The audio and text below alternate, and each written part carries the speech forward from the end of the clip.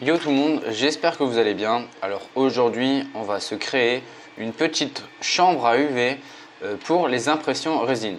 Donc pour cela, vous aurez besoin d'une lampe UV LED, de papier aluminium, d'une boîte en carton ou en plastique, d'un cutter, d'un mètre ou d'une règle ou d'une équerre. Le mieux, c'est une équerre.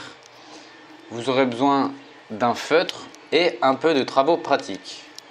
Alors on attaque directement avec euh, la construction de la boîte en carton. Donc celle-ci est en carton plastifié, donc j'ai préféré prendre un petit truc plastifié, c'est un peu plus costaud. Et euh, je trouve que c'est assez joli par rapport à une boîte à chaussures par exemple. Donc voilà, on a monté la boîte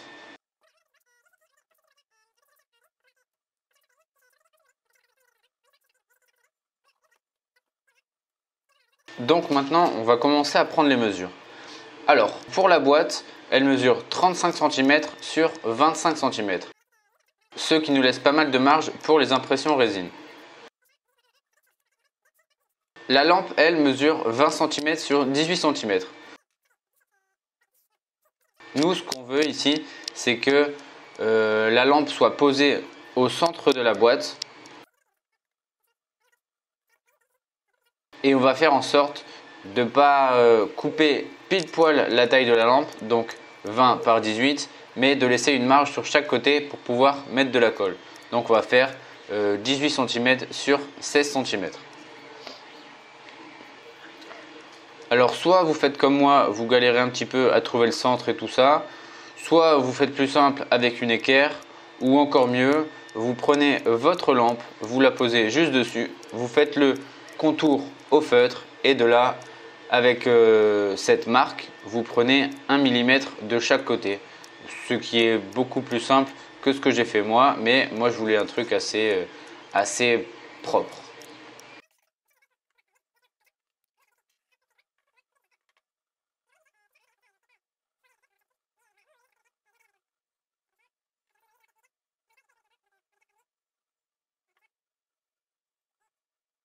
Donc voilà, maintenant il n'y a plus qu'à couper notre petit dessin, notre petit rectangle pour la lampe LED. Donc on utilise le cutter.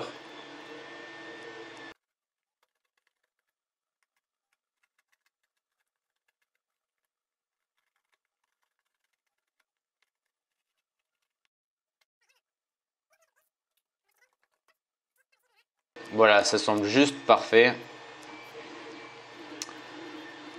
Maintenant, on va coller la lampe LED. Alors, moi, euh, dans cette vidéo, j'ai utilisé de la glu parce que j'ai prêté euh, mon pistolet à colle à un ami. Donc voilà, euh, j'ai pas de chance. Je voulais vraiment faire cette vidéo rapidement parce que je trouve qu'elle est vraiment sympa.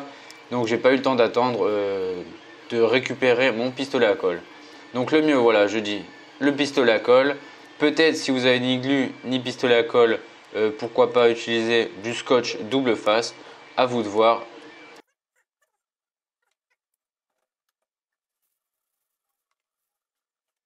Ce que je présente dans cette vidéo, c'est un exemple. Hein. on peut aussi bien le faire euh, dans un meuble en bois, euh, je sais pas, une boîte en verre, ce que vous voulez. Tant que ça fonctionne, c'est le principal. Voilà pour la glu, elle est appliquée. Alors maintenant, il n'y a plus qu'à coller correctement et euh, le plus proprement possible.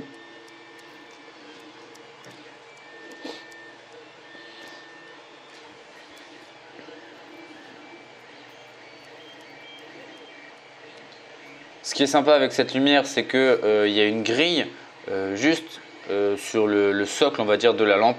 Comme ça, on peut voir quand la boîte est fermée si la lampe fonctionne ou pas et en même temps ça laisse dégager un peu la chaleur et peut-être les vapeurs de résine. Je ne sais pas s'il y en a, mais euh, voilà, je trouve ça vraiment pratique. Maintenant, on va attaquer la mise en place de l'aluminium. Vous pouvez peut-être trouver mieux en mettant des petits miroirs ou des miroirs adhésifs dans votre carton, mais je trouve que l'alu, c'est vraiment pas cher et que je pense que ça va faire son taf. Alors après, à vous d'appliquer comme vous voulez l'aluminium. Là, je l'ai fait en deux parties. Un sur la largeur et un sur la longueur. Donc Voilà, je me suis pas trop pris la tête. Ça reste vraiment propre. Quand on va fermer euh, le couvercle, on va pas voir le scotch euh, juste sur les bords. Donc voilà, je trouve ça top. Pour les impressions résine, euh, j'ai pensé aussi à imprimer, si vous avez une imprimante FDM, à imprimer un genre de grille, de grillage, ouais, pour soutenir l'impression à hauteur. Comme ça, justement, le papier aluminium sur la base de la boîte va pouvoir refléter en dessous de la figurine. Justement pour éviter de manipuler plusieurs fois euh, la pièce en résine, de la changer de sens, etc. Là, vous aurez juste à la poser une seule fois, à faire tourner votre lampe et la faire jouer.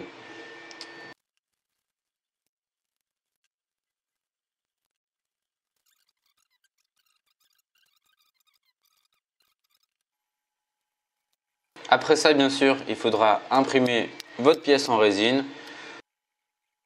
Donc pour cette vidéo, j'ai imprimé le buste de Wonder Woman par David Ostman sur My Mini Factory. Je vous mettrai le lien dans la description. Je le trouve vraiment sympa ce buste. Je l'ai découvert juste en faisant la vidéo, donc ça tombait vraiment pile poil bien.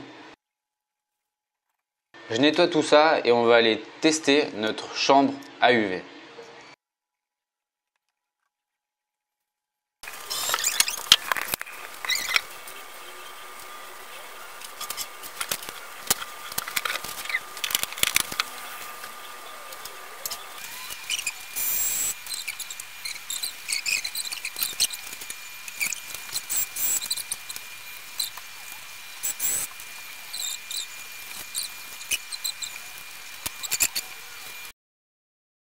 Pour ce premier test, j'avais essayé 100 minutes et comme on va le voir, euh, il y avait un tout petit souci. Alors juste pour éteindre et allumer la lampe LED, vous avez juste à brancher et débrancher la prise. Ici, comme je viens de vous le dire, euh, voilà, la pièce en contact avec l'aluminium a bavé. Je venais juste de la nettoyer avec l'alcool, donc c'est un peu logique. J'ai pas laissé sécher, mais comme je vous ai dit tout à l'heure, je vais essayer euh, de créer une grille et de la mettre euh, gratuitement sur Thingiverse. Comme ça, vous pourrez la télécharger et l'imprimer pour permettre euh, aux pièces d'être surélevées et de sécher par le dessous en même temps.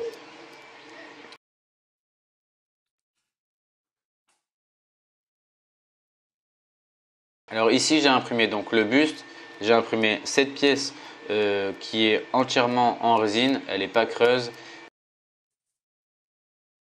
et cette pièce également pleine. Alors le résultat a l'air vraiment pas mal. Euh, j'ai laissé 5 minutes comme vous avez pu le voir. Je pense que euh, une dizaine de minutes ça serait vraiment top. La résine elle serait vraiment vraiment sèche. Euh, là d'aspect visuel quoi, la résine a l'air sèche. Au toucher, je pense qu'il manque un tout petit peu de cuisson. Donc voilà, 10 minutes, ça a l'air très bien. En espérant que cette vidéo vous sera utile et que vous pourrez créer votre chambre UV avec vos idées. Je vous laisse mettre un pouce bleu si vous avez kiffé la vidéo. N'hésitez pas à commenter la vidéo en me disant ce que vous en pensez et si vous avez des questions, n'hésitez pas non plus. Vous pouvez me rejoindre sur les réseaux sociaux comme Facebook et Instagram. Et sur ce, je vous dis bonne fabrication et à la prochaine. choose